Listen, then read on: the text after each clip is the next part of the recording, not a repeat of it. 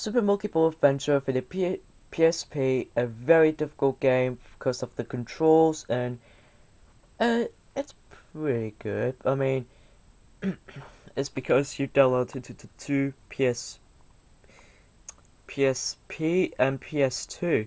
So I could give it 7 out, 7 out of 10 because it's the PSP version. But the PS2 version doesn't look too good. The GameCube version feels very fantastic.